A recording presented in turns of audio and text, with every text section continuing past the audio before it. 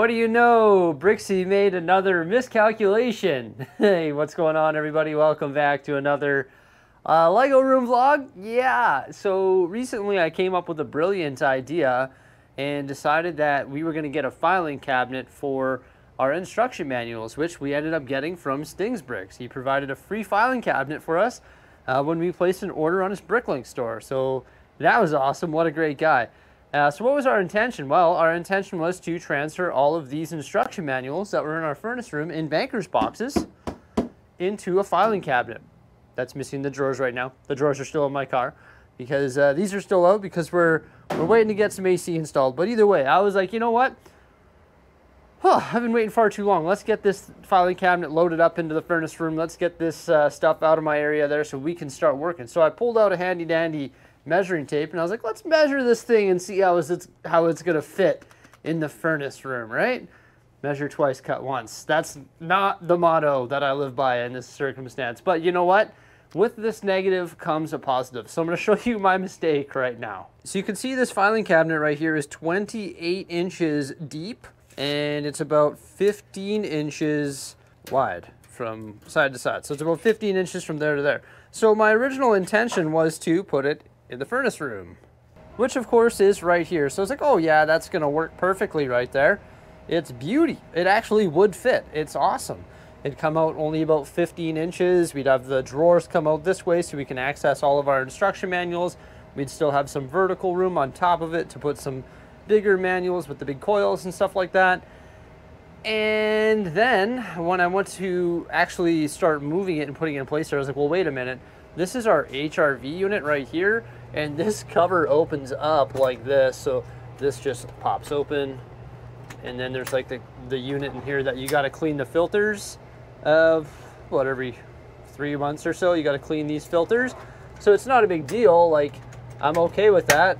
But the problem is is that filing cabinet is 28 inches deep and 15 inches wide so it'd come to here and it'd go to about here and this cabinet needs to flip open. In order to access the uh, filters and clean them, I would have to move this filing cabinet every single time I want to go do that. It's like, do I really want to move this filing cabinet when this thing is loaded full of instruction manuals? As you can imagine, it would be really heavy. I'd have to take out these long drawers that would clearly be able to hold a lot of instruction manuals per drawer based on the size. Therefore, this unit would be massive and really hard to move no matter how much I worked out. Why did I change my clothes? Well, I just got a phone call from my brother and we worked out together. So that's why I changed my clothes on a snap in this uh, video here. Pretty funny. But yeah, I'm glad I worked out. Now I might be able to haul this filing cabinet to its new location. Things are always changing, hey? I just hauled it down here the other day with my brother-in-law. Now me and Jose have to haul it all the way back upstairs because I guess it won't fit down here. So what's our new plan? Well, I guess it's gonna have to be added to the garage, which has way too much stuff in it already. Look at my wood yard.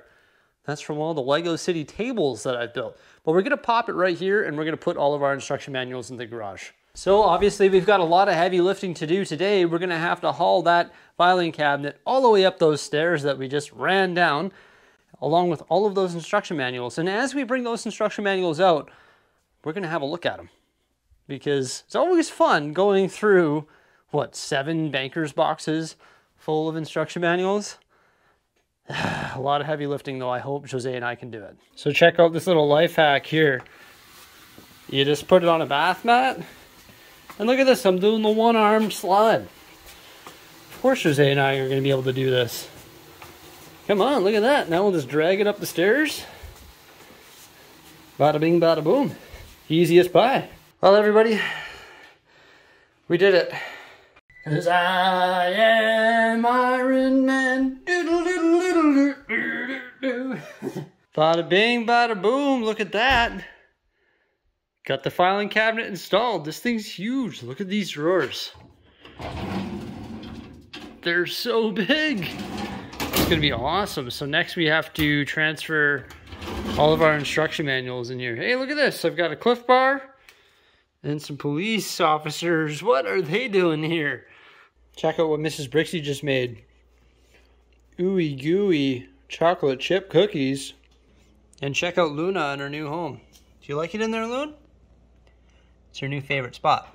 So I've switched to my phone, everybody, just because I don't feel like being mic'd up while we're doing all these exercises. But there's nothing really wrong with using banker's boxes to organize your manuals, especially if you're as organized as Mrs. Bricksie. You can see each banker box has a different set theme, and they're even organized by set numbers. So you see Star Wars there, City, Speed Champions, Creator with a set number.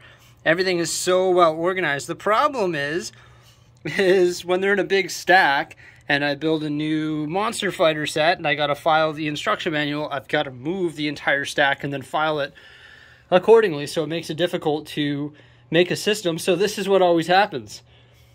I just end up putting them on top of the boxes and be like, yeah, here's a new Marvel set. Definitely don't feel like filing it away because I've got to move all this stuff and then do that. So I become lazy and just stack them on top. So the filing cabinet's going to solve that problem, which is pretty amazing, right? So let's have a look at some of the instruction manuals in these boxes here and then organize them into our new and improved system.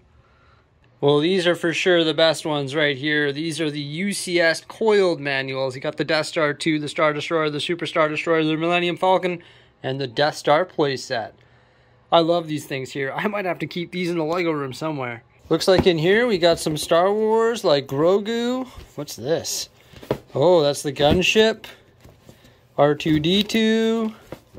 The typewriter. Nintendo NES. What's that? Oh, piano. There's some good ones in here. Oops.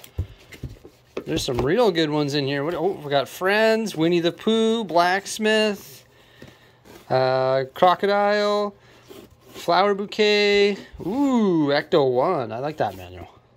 That's a cool one. Then we also got uh, Haunted House, and this is all of our BrickHeadz right here. So all the brickhead manuals stuck on the side. Nice. That's a pretty cool box. All right, next up we got a cool box. Star Wars. Who's a fan? I'm a fan. Oh my gosh. This thing is packed. Ooh. 20, uh, 20th anniversary Slave 1. Ooh.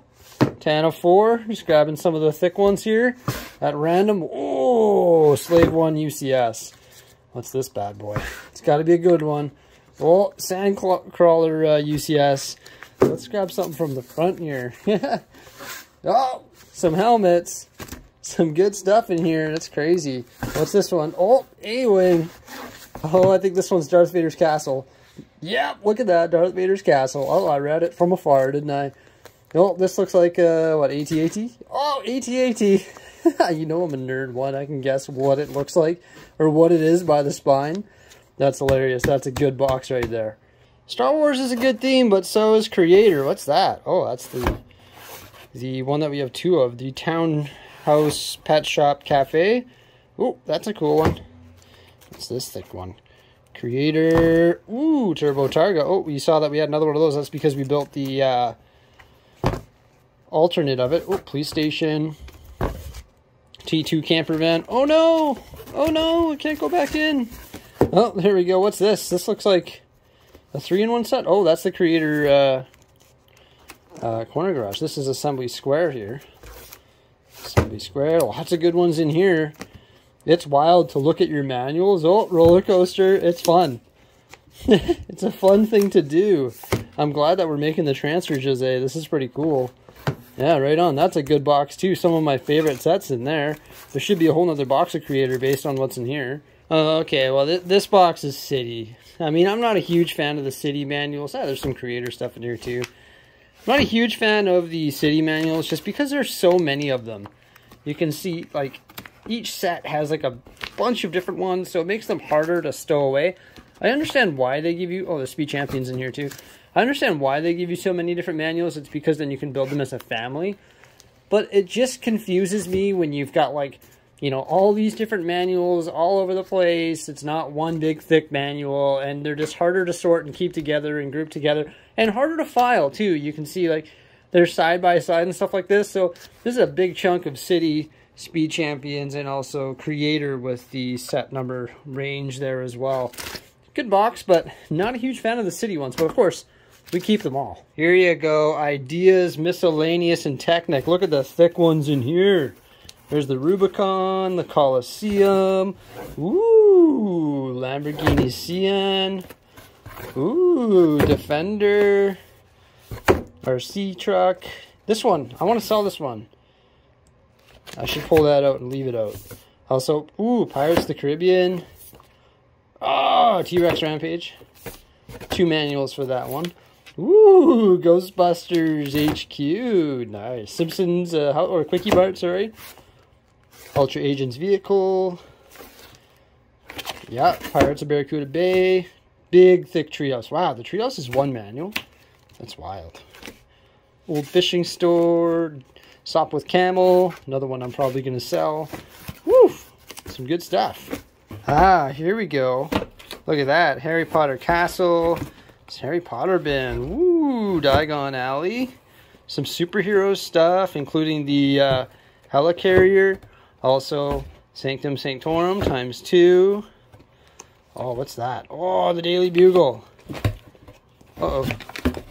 There we go. Oh, this is probably like Carnage. Also, Guardians of the Galaxy ship. Whoa, nice. Bruce Wayne's Manor. The Bat Cave, I should say. The, the Flying Fox. Oh, 89 Batmobile. Nice. This must be the Batwing? Yeah, Batwing. Doesn't look like it gets any more random than this, folks. Ninjago. Ooh, another Ninjago set. Uh-oh, jamming it in there. That's not good. Oh, more Ninjago stuff. What's this? Disney Castle? Yeah, Disney Castle. Two Disney Castles. Uh, a bunch of brick model railroader stuff. Some architecture sets. Ooh, uh, Metalbeard Sea Cow. Some good ones in there, that's for sure. In addition to all those, we've got all these ones here that we need to sort into the system, into the filing cabinet. So the Speed Champions, Thor's Hammer, some Technic stuff, some BrickHeadz. all sorts of cool ones in here. Like, what are these thick ones? What is this? Okay. Ford Raptor. Oh, I'm making a mess. We got uh, Batmobile. It's a great movie. The Titanic. Woo! All sorts of cool stuff. So we'll have to sort these. All right, we'll check out this magical goodness here. First off, we put some smaller ones in here, such as BrickHeadz, and then other miscellaneous smalls up top. Nice. That worked out well. That worked out really well. Okay, the filing cabinet, though. This is all Star Wars. Whoa! the whole drawer. And the nice thing is, is there's actually some expansion room in the back. Of course, the filing cabinet has that expander thing on the back so you can unlock more space or make them tight like this here. This is all DC superheroes and Harry Potter. Yep. and then from there, this is all, what is this, Jose? Creator. 18 plus. Yeah, creator, expert, miscellaneous. Holy Toledo. that is a lot of instruction. That's wild. Did I skip this one? Or is that what I just did? Oh, I was just in that one. This is the one. There we go. I'm looking through a phone camera. You can tell. Speed Champions. That's all Speed Champions there. And then all City in the back. You can see there's our expander. So you just push that down and bring it back. And away we go. We got more space for, for more. More sets. Oh, there's Technic in there too? Yeah. Oh yeah. Some big thick Technic ones you can see. Right? Like what we saw before. And then uh, this one here is miscellaneous. You got some ideas in the front there. Some Simpsons, Disney, uh, Ninjago, Lord of the Rings, video, miscellaneous stuff. So there we go. There's our new and improved filing cabinet system for all of our instruction manuals. Can you believe how many we have? That is insane. Luckily, there's still a bit of room in here. And when we run out of room, what we'll probably do is take all the smaller stuff out that's sort of tucked away in here, like this stuff, and put that maybe in banker's boxes up top here or something like that. Or eventually maybe get another filing cabinet, but it's just crazy how many we have. Now, even though I keep all my instruction manuals, I throw away all my boxes. It's time to recycle all of these guys right here. Bye-bye, Speed Champions and Thor's Hammer. All right, so now that we've dealt with the instruction manuals, we've got to do something ridiculous. Uh, yeah, so we're going to be moving these tables up against the wall like they are right now, and you can see that this plate alignment doesn't quite work. It has to go to the left a little bit, but we have enough space right here to move the entire city up against this pillar. So you can see there's about a couple inches there. And that's pretty much going to resolve that problem. So we have to move this entire table right here, which is 100 inches by 200 inches against the pillar. So we've got to move the entire city and amusement park over and also all of the stuff underneath. It's going to suck, but we're going to do it. All right, so that was a little bit of a challenge, I won't lie. What was so challenging about it? Well, of course, moving all the tables was what was challenging about it. Of course, all the base plates were being difficult too because we've got something going on here. The city's like half converted to MILS and half regular base plates, so it didn't move as one chunk. So we've got all these little misalignments like that everywhere just because we just moved the entire city over essentially two inches including the amusement park and everything. So we've got a little bit of a misalignment issue going right now, but I think we're just going to hang on tight. You know, it's going to be a bumpy ride, but now that we have this squashed over right against the pillar, there's actually some positive things. First off, our shelving is going to be more visible because we have a larger aisle here now, or row. So you can like actually walk down there and there's two more inches of room. And I know two inches isn't a lot, but it definitely is a lot when you think that that was used to be 18 inches, now it's 20 inches. So that's good. Uh, and then as we go to convert more modular buildings, what we're going to do is slowly but surely make sure everything is 100% aligned. And in some instances, we're going to have to uh, switch back to using the 2x4 tiles on the road. I just find that it it holds the road together better than the Technic pins. I find the Technic pins more easily flex and turn and stuff like that. Whereas if you put the tiles there, I just feel like it holds it in spot better just for the roads though. So we're probably going to do that. But the main reason why we did this was, of course, to bada bing, bada boom, align that, right? So now uh, we've got uh, some room for base plates right there. And you can see that our road will actually align there. This is just off because this needs to slide over. Then there'll be one and a half base plates open there, and then our road can actually connect there, and it'll line up perfectly with the city. So rather than building some weird sort of angled road, now it lines up perfectly with the city. So we're really happy about that. Okay, so now without putting the instruction manuals in a filing cabinet right there, we've got all that open space. So we're going to use that new found open space for Lego sets. We're going to put our Lego backlog in there. That's our building backlog, of course. You can see right over here is where we temporarily have it. It's not normally there, but once again, just waiting for this mess to be cleaned up. Contingent based on some other stuff. And what are we going to do? Oh, I guess I should find a home for these. But what are we going to do with that space that we now have access to? Well, we are going to put a little IKEA cabinet like this here, but we're going to get the taller version. And this is where we are going to put our backlog. Well, we're going to put our backlog on shelves like this in that area. This is just our, our Bricklink store right there.